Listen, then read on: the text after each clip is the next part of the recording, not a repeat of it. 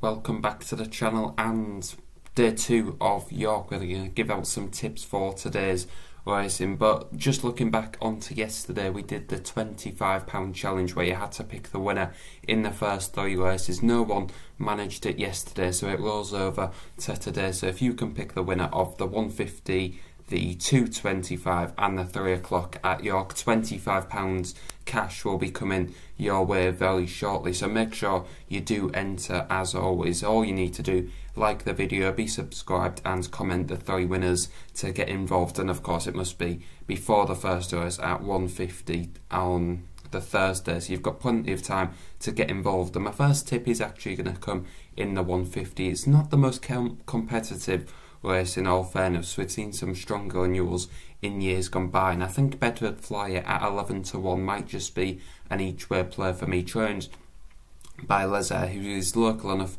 to the track, and I feel like this horse might have been targeted for this race. He's got some very good course form at York. He won on this meeting last year, just in a different race. He won that off a mark of 90, and he won it very well in the end he just blew them away from the front. And I think something similar might be on the cards again. There's going to be plenty of pace in this race with Bedford Flyer and Copper Knight but I think the key thing is the draw. Bedford Flyer drawn one he can get right up against the Stands rail, and I think that could definitely suit this horse. Looking on yesterday's action on day one of York, it definitely seemed to suit being on the far side of the track as you look of it, especially when you look at Highfield Princess who won the six furlong group two. She ended up on the far side and seems to have a really good term of foot there. I think the ground might be just be a little bit better over there. So I think Bedford Flyer can get to the front and I think he's going to be a hard horse to get past. I would be a little bit concerned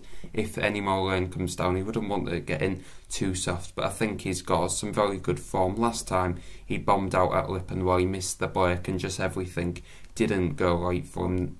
I think he can bounce back today and at a flatter track which will definitely suit more. I think at 11 to 1 if he gets to the front and gets rolling he should at least be able to hold on to a place at 11 to 1.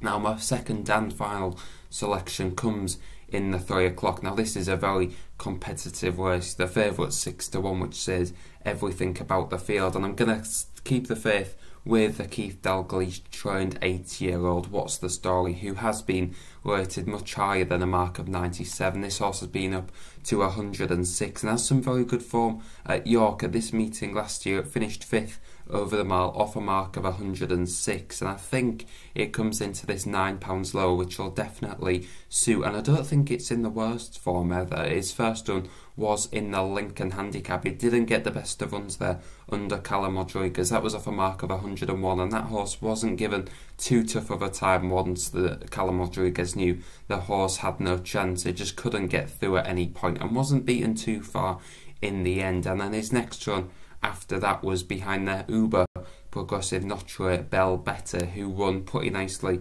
at Kempton. It has been beaten since that, but I think that is definitely that was in a pretty strong race, and I think that form of that race still has worked out okay. That was off a mark of 97, and it was on the all weather where this horse probably is better on the turf, even though he does have a decent enough record on the all weather. I think he's definitely a better horse on the turf. So back on the turf today, two pounds lower. Callum Rodriguez takes the ride back at a track where he's done very well at in the past. He's versatile, ground wise, tactics wise. He could maybe force the pace or he could he can pretty much be sat anywhere. So I think at 11 to 1, this has got a very solid chance in a pretty strong race. But do make sure to look out for bookmakers going more than however many places. Some are going four, five. I've seen so do shop around for the value. But they're my two selections. What's the story?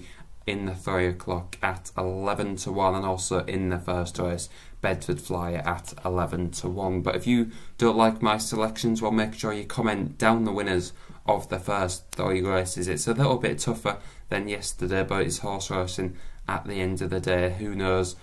Get them entries in to win £25 and don't forget to like and subscribe to be involved. And I'll see you very shortly for some selections on day 3 of York